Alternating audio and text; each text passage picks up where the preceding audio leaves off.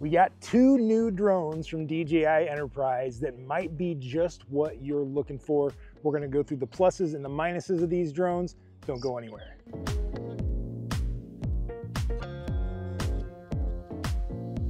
Hey everybody, David here from Aerial Influence. Thank you so much for stopping by. Well, we as drone dealers, we get questions all the time. And by the way, our information is on the screen. If you wanna buy any of these drones, please make sure you reach out to us.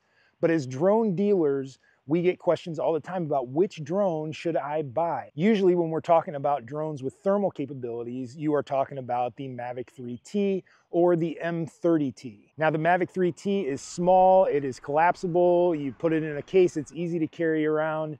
Uh, it's got a great thermal camera on it. It's got a 56 times zoom on it, but it also has no weather rating. So that is a big minus on the part of the Mavic 3T. So with its lower price, you're not gonna get that weather rating. Then you bump up to the Matrice 30T, and not only are you getting an IP55 weather rating, but you're also getting a better zoom lens. It's like a 200 times zoom lens on it. A uh, big portion of that is optical. So it really is a big upgrade, but the upgrade also comes in the price. It's a lot more expensive than the Mavic 3T.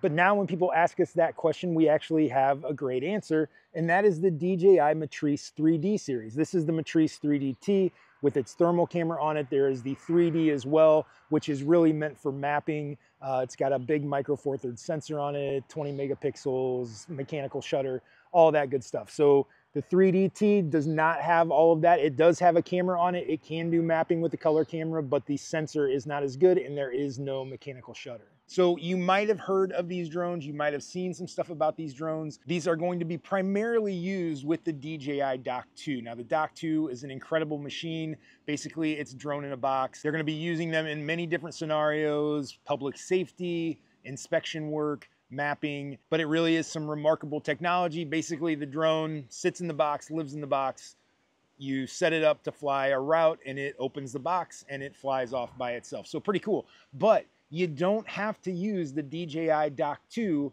to use one of these two drones, the 3D or the 3TD.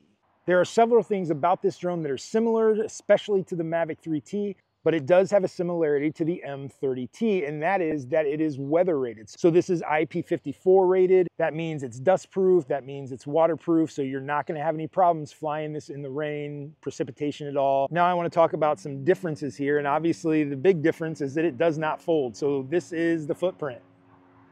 This is how big it's gonna be. It does not fold down. You're gonna have to probably get a special case for this. I'm sure somebody's gonna create a case for this soon um, but it does not fold up. So it is not quite as portable as something like the Mavic 3T or the M30T even. Size-wise, it is somewhere in the middle between the Mavic 3T and the M30T. Obviously, I mean, when those two drones are folded out completely, the size of this is somewhere in the middle of the Mavic 3T and the M30T. Obviously, when the other two drones are folded up, this is gonna be a lot bigger than those. Also, like the M30T, it has an RTK puck installed in it already. So you don't have to add an additional RTK unit on top of this drone or anything. It's already built into the drone. And that's important if you know what RTK is. It's important if you want to do high precision mapping. RTK is a big deal. And I encourage you to do more research on it if those are the things that you're wanting to do with this drone. Just like the other drones, uh, this has obstacle avoidance all around it. So on the sides here, on the front. These also cover the upper view as well. And you've got some here on the back facing down. What you do not have are sensors on the back here. So there are no sensors here. So that is gonna be a blind spot. There are sensors down here on the bottom, but not up here. So that is gonna be a problem. If you get this drone, make sure you understand uh, that that is a blind spot and you gotta fly really, really carefully. The sensor on this, just like the Mavic 3T, it is literally the same sensors on this drone. So you've got a wide angle camera, uh, and I said what the differences were between the Matrice 3D and the Matrice 3TD. You've got a high resolution 640 by 512 thermal sensor on this drone. So even at 400 feet, you are gonna get relatively accurate heat signatures. And then it's got that great 56 times hybrid zoom lens on it, so you're not gonna have to get close to anything.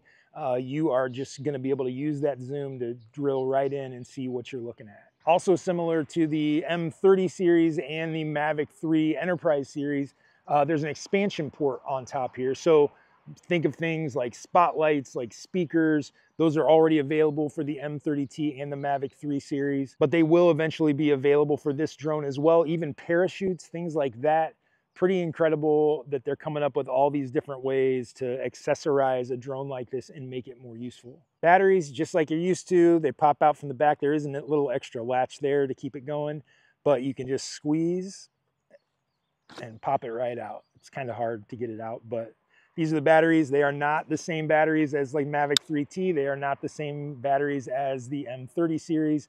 So whole different battery setup. And right now there is not a multi-charger for it. I bet there will be soon, but right now you can only charge one battery at a time. Now remember, this is meant for the dock. So the dock actually charges it up. So we are sort of using this as kind of a, you know, other use case uh, in this instance uh, gonna use this drone without the dock. It's also got beacons built in on the top here and on the bottom. Uh, there is a beacon down here as well. So those are very useful if you're flying at night and you really have to use those anyway per FAA rules. They say you're gonna get about a 50 minute flight time. Now that is probably not accurate. I think when DJI calculates that, they figure it in the absolute best conditions possible. I think realistically, you're looking at 35 minutes before you start coming home. But 50 minutes is a little bit of an overshoot. I, like I said, I think 35 to 40 minutes is really what you should be expecting. Now, I may have already said this, but it does use the same remote that you can use with the DJI Enterprise drones.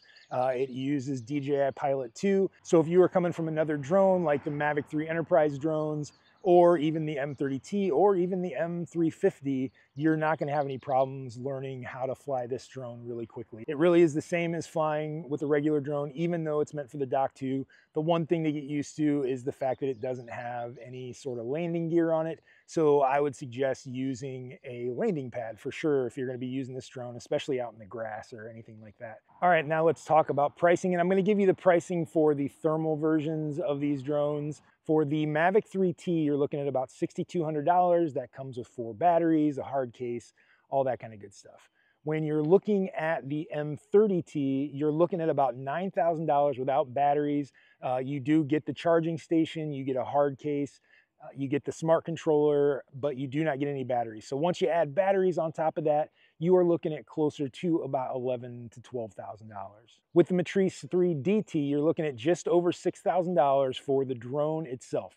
That doesn't come with a remote. That doesn't come with a hard case. That is just the drone. No batteries with that either. So keep that in mind. That's a little over six thousand dollars for the drone completely bare bones. Now you got to add almost a thousand dollars to get you three batteries. You have to get a battery charging kit. That's the one I was talking about that you can charge one battery at a time. That's 279. Like I said, you have to buy that smart controller and that is an additional $1,200.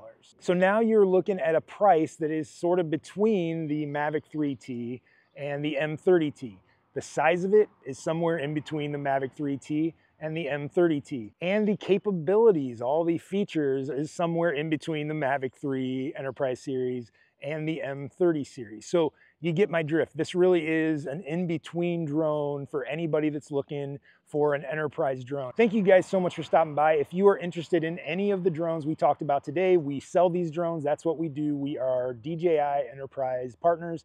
We sell drones to lots of people, police, fire departments, surveyors, construction companies, you name it, we are working in that industry. So please reach out to us. You see the information on the screen and in the description below. We love talking drones with people and coming up with solutions for whatever problem you have or whatever solution that you might need. So please reach out to us. We appreciate you stopping by. We'll talk to you next time.